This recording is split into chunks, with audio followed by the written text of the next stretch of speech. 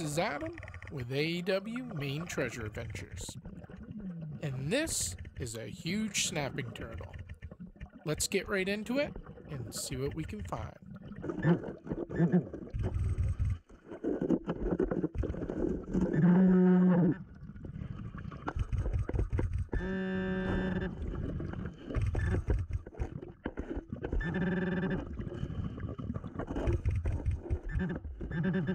We are back out at Echo Lake Beach Swimming Area to clean out everything that doesn't belong here and make the swimming area a little safer. Our first lead fishing weight. Check it out. It's like a billion of our fish friends. They are happy because we're cleaning out stuff that is harmful to them.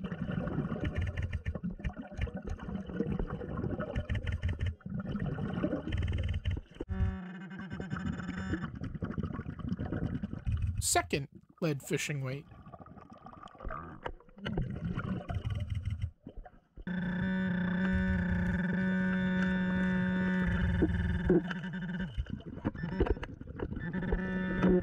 Another one bites the dust. Another fishing weight.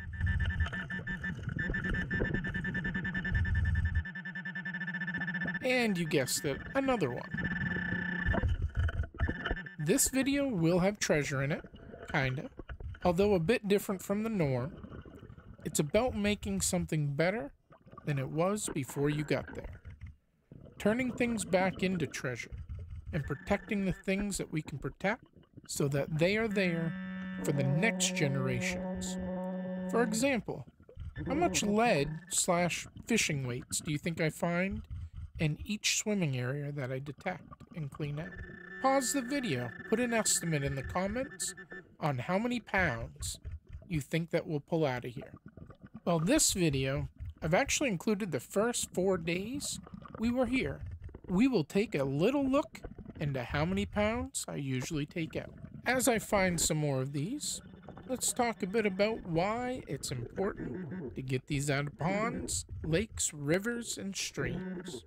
When lead fishing weights and lead bullets get into the waterways, they have a huge negative impact on everything.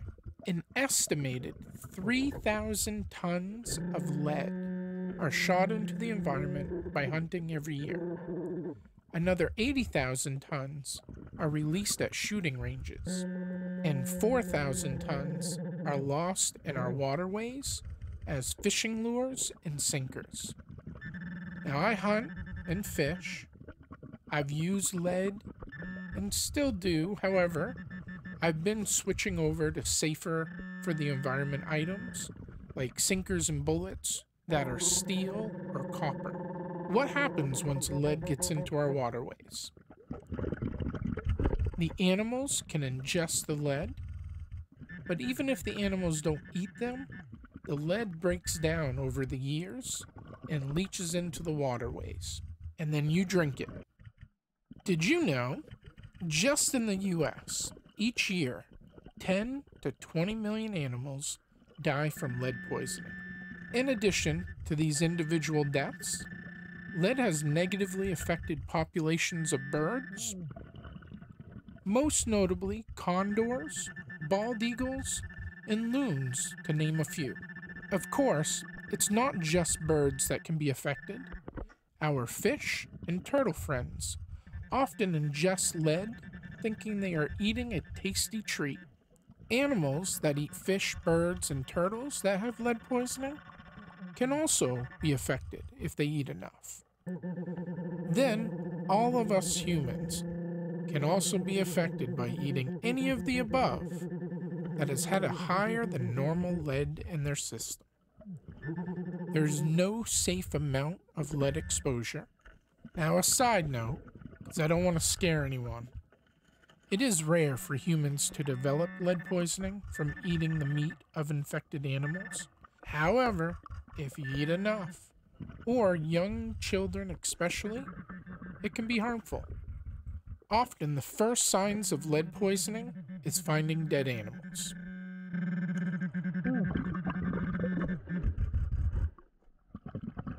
When affected animals are observed, they show signs of central nervous system damage. They may cease grazing, appear dull, and unresponsive. They may walk aimlessly or become blind. In some cases, these symptoms are accompanied by muscle twitches, paralysis of the tongue, circling, and stargazing.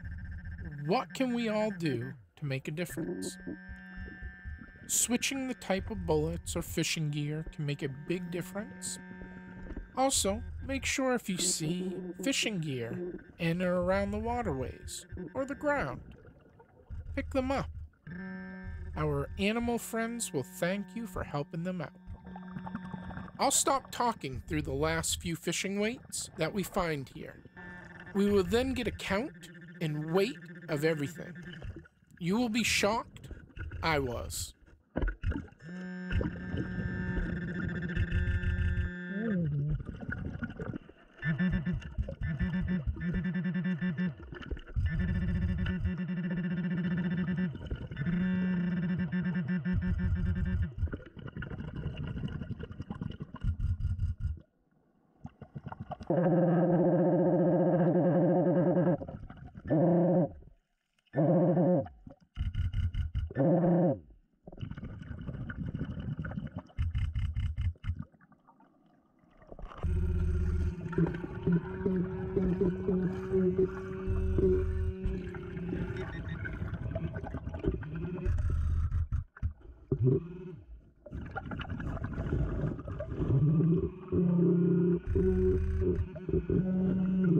Thank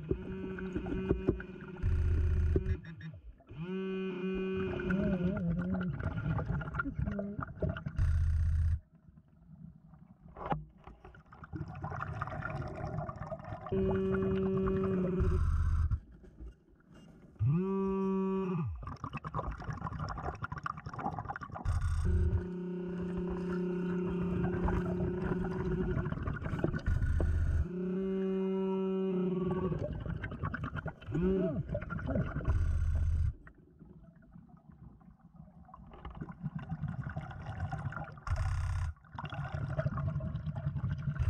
Thank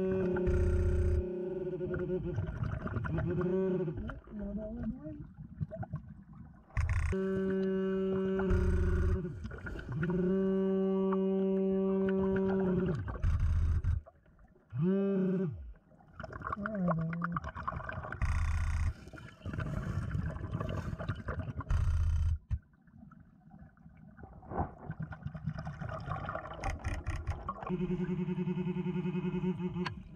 Mm-hmm.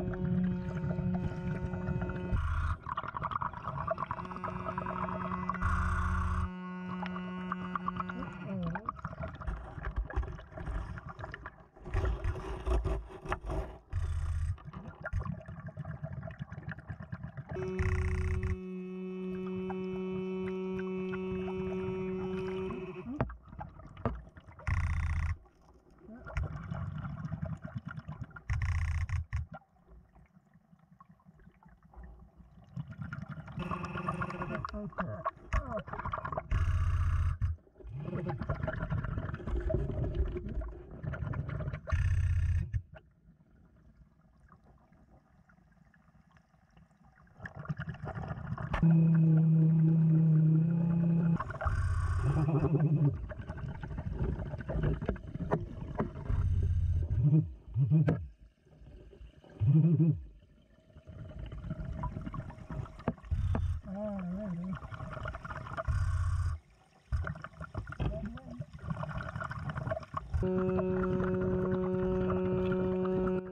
take a look at how many lead weights we pulled out of here and how many pounds. Hello, everyone. Let's take a look at how many fishing weights we took out of Echo Lake. There were like six unfired lead bullets and a hook with a weight on it. If you look closely, all of these small little specks are individual fishing weights. From really small to really big and everything else in between, we took it all out. Just look at them all. It's pretty crazy to think this probably isn't even 1% of the fishing weights that are in there. I stopped counting at a thousand. So over 1,000. That was just fishing weights and a few bullets. I was here at Echo Lake for a total of seven days this year. This was just from the first four days there. I found a lot more after this. The other days I did find plenty of jewelry and coins, along with all kinds of other stuff. Now let's weigh everything and see how many pounds we got out of here. Well, that's a lot. Just over eight pounds. This isn't the worst one that I've cleaned out, but it also isn't the best. I normally pull out between 5 pounds to 25 pounds of lead with every swimming area that I've cleaned out in the past. Most of that is fishing weights, bullets, However, I also find dive weights and batteries, among other things. Three bald eagles were just brought in to Avian Haven. Unfortunately, one died, the other two are clinging on to life, all because of lead poisoning. I promised you treasure, so here it is. You can't say that I didn't warn you at the beginning of the video. It's going to be a little bit different treasure today. This is the treasure that I'm fighting for.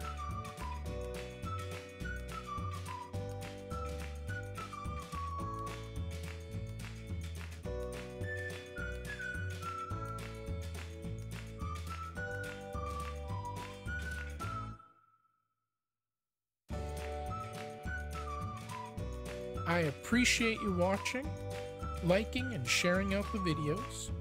It makes a huge difference in YouTube getting my content out to other people. Thank you. Love you. Until the next time, AEW out.